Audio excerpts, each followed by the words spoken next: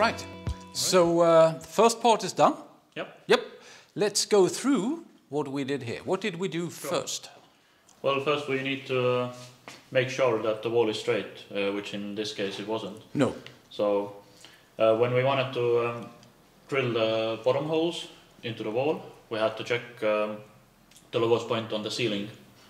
So which ended up being that corner. That so corner? that's where we started. We measured 35 or 33 Mhm. down from there. Then put on a leveler and uh, drew like a straight line. So the other ones would be on the same line. Yep. And uh, it will look nice from the bottom. Right. You can't measure 33 from every different place because the ceiling is uh, wavy in Yes. this case. Yes. In most cases well. In most cases. Yeah. Yeah.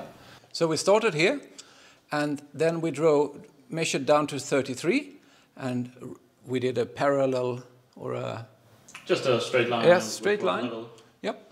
And this hole here is 17 and a half centimeters away from this place. Yeah, since we have this um, cable covering uh, thing Yeah. there, we had to take from the wall the length of the cable covering, uh, which was like 2.6 Yep. centimeters, and then a- added uh, the 17 and a half to it. Yes.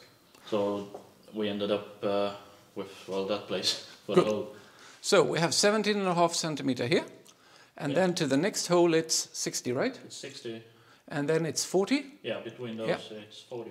And then it's 60 again. 60 again, 40. And 40 and 60. and 60. And if we wanted to put up even more after each other, we would just continue Yeah, with just 40, 40, 60, 60, 40, 60, 40. And here you happen to make one extra hole. Yeah, Th- thank uh, God I intervened and stopped you. Yeah. Yeah. Oof, that was lucky. All right, so after we've drilled all the holes, Mm-hmm. what did we do then?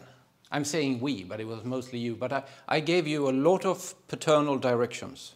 Uh, Yeah. You, you call it whatever you want to call it. So- Um, I think the next thing was to put in the plugs. Yep.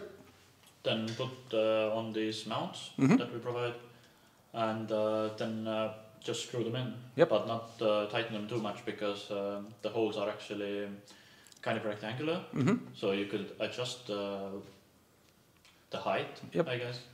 So uh, we uh, screwed the screws in Mhm. and then put uh, on the leveler again. Yep. So we could get them all on the same height. Yep. So these holes, the corner. yeah, these holes behind the washers, behind the screws here, they are rectangular. Yeah, So you can push the- them up and down. You could see. So with the leveler, we made sure that the bottom of all these mounts Mhm. were on the same line. Yeah. Yeah. And what happened then? Well, then we uh, went on to the ceiling. Yep. Which ended up being uh, concrete infused with iron. Yes. Um, Yeah, that, that's when we went to this building shop and bought Yeah, a completely bought new drill. drill. Yep. for it. Um, and then we basically measured uh, again 17 and a half. Mm-hmm. 17 and a half. Yeah, plus the 2.6 from the cable covering Yep. part. And then again 60, 60, 40, 40, 60, 40, 60. And pretty much uh, just uh, repeated the process uh, that we did on the wall. Yep. And, So now uh, they are fastened. Yeah. we're Good. Now we will go over to next part, right? Yeah. Excellent. So now we're going to place the back part of the SuperChunk corner in place. So this part here, in accordance with the arrow, and place it along the line. Take one of the metal screws here.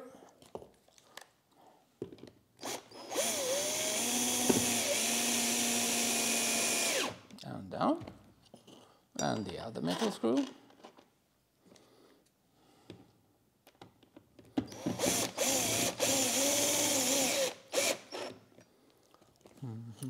and the black ones in the back.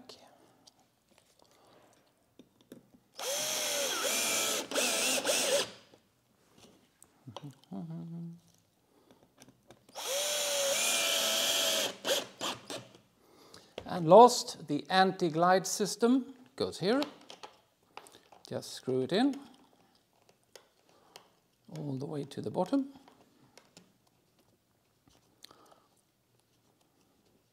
This will be, this will be explained soon.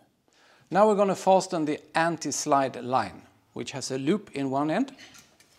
And we're going to fasten one slide line around each second of these wall mounts. Like this.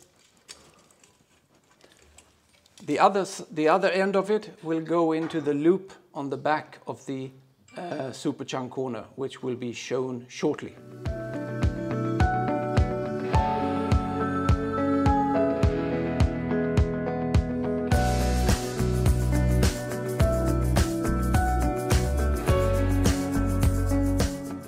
So this is how you fasten the anti-slide line. And the reason for the anti-slide line is if your wall um, is leaning or you have a, we actually had one customer who had a um, dishwasher standing against the wall on the other side and there were lots of vibrations. So we have this slide line and the reason for this is for the absorber to not be able at all to slide backwards. So it's just going to make sure that the absorber does not slide backwards. So we have fastened it earlier on the mount. You pull it through this loop on the back side of the absorber. And with this line, you basically just make a knot.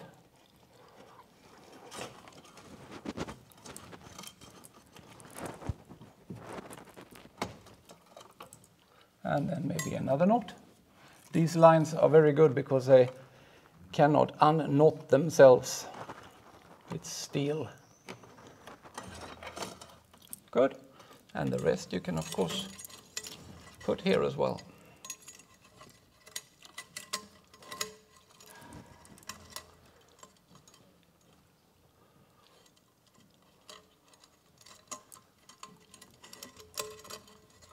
Cool. Now there is no chance for the absorber to slide back.